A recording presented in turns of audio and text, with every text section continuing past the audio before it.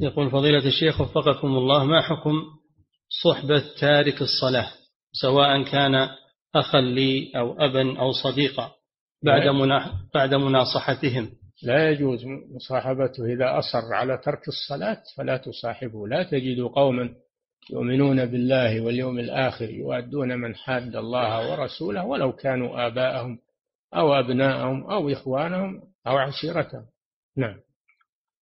ثم يقول حفظك الله يقول وهل هجري لهم إذا كان أبا مثلا يدخل في عدم رفع الأعمال إلى الله؟ لا هذا بحق هذا هجر بحق. يمنع هو الهجر بغير حق. أما هذا هجر بحق. نعم.